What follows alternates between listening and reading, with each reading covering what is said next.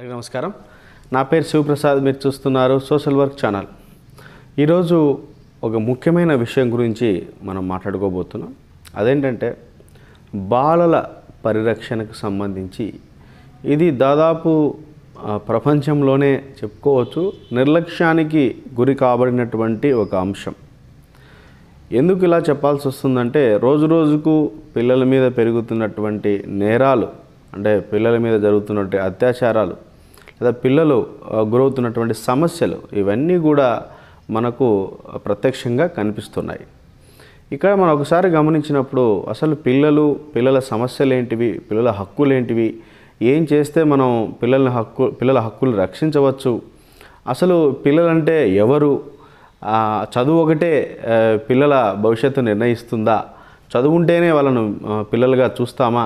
చదువు రాకపోతే అసలు వాళ్ళ పిల్లలు కాదా? ఇలా ఎన్నో రకాల ప్రశ్నలు ఉన్నాయి ఇంకా ఏ ఏ కేటగిరీ ఆఫ్ చిల్డ్రన్ ఉంటారు సొసైటీలో అన్న విషయాలు కూడా చాలామందికి పెద్ద పట్టించుకోరనమాట కానీ ఒక విషయం మాత్రం వాస్తవం ఏంటంటే పిల్లలే దేశ సంపద.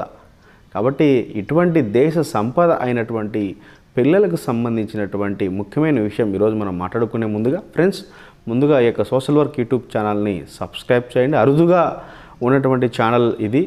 ఎంటర్టైన్మెంట్ ఇలాంటి వాటి కాకుండా టెక్నాలజీ కాకుండా కేవలం బాలలు మహిళలు లేకపోతే సామాజిక సమస్యలు వివిధ రకాల పథకాలు చట్టాలకు సంబంధించి ప్రజల్ని చైతన్యవంతం చేయాలనే ఉద్దేశంతో ఈ ఛానల్ని స్టార్ట్ చేయడం జరిగింది కాబట్టి ప్రతి ఒక్కరూ దీన్ని సపోర్ట్ చేయవలసిందిగా కోరుతున్నాను తప్పకుండా అందరికీ షేర్ చేయండి లైక్ చేయండి మీ అభిప్రాయాల్ని కామెంట్ చేయండి.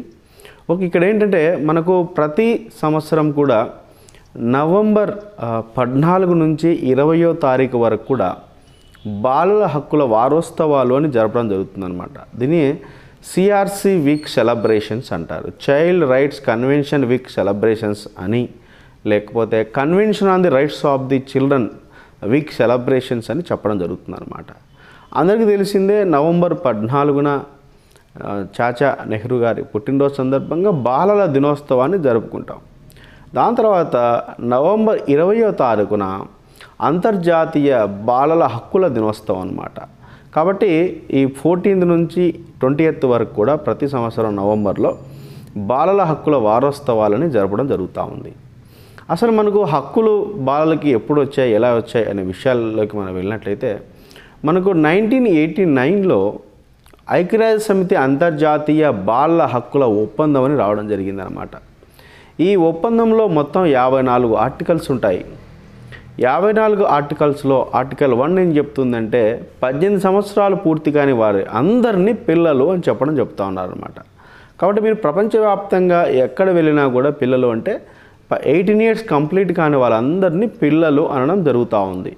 అంటే అది ఆడపిల్లలైనా మగపిల్లలైనా కులం మతం ప్రాంతం భాష వాళ్ళు పేదవాళ్ళ ధనికుల దేంతో సంబంధం లేదనమాట పద్దెనిమిది సంవత్సరాలు పూర్తి కాకపోతే వాళ్ళందరూ పిల్లలు అని చెప్పడం జరుగుతూ ఉందన్నమాట. అంటే చాలామందికి పిల్లలు అని ఎవరు చెప్పారు ఎక్కడి నుంచి తీసుకున్నారంటే ఇది సమాధానం దానికి. మరి ఈ అంతర్జాతీయ బాలల హక్కుల ఒప్పందం యుఎన్సిఆర్సి అంటారు దీన్ని United Nations convention on the rights of the children అని చెప్తారు. ఇందులో మొత్తం యాభై నాలుగు ఆర్టికల్స్ ఉంటాయి. యాభై నాలుగు ఆర్టికల్స్లో ఒకట ఒకటవ ఆర్టికల్ నుంచి నలభై రెండవ ఆర్టికల్ వరకు పూర్తిగా బాలల హక్కుల గురించి తెలియజేస్తే నలభై మూడో ఆర్టికల్ నుంచి యాభై నాలుగో ఆర్టికల్ వరకు కూడా ప్రభుత్వాలు వివిధ రకాల అంతర్జాతీయ సంస్థలు బాలల హక్కుల పరిరక్షణలో ఏం చేయాలి అన్న విషయాల గురించి ఈ ఆర్టికల్స్ అనేది మాట్లాడడం జరుగుతుందన్నమాట. ఈ విధంగా నైన్టీన్ ఎయిటీ నైన్లో వచ్చినటువంటి ఈ కన్వెన్షన్ బాలల హక్కుల ఒప్పందం పైన భారతదేశం నైన్టీన్ నైంటీ టూలో సంతకం పెట్టడం జరిగింది రాటిఫై చేయడం జరిగింది. ఓకే కాబట్టి మనం కూడా ఈ యొక్క అంతర్జాతీయ బాలల హక్కుల ఒప్పందంలో ఉన్న హక్కులన్నీ కూడా మన దేశంలో కూడా అమలు పరుస్తున్నాం.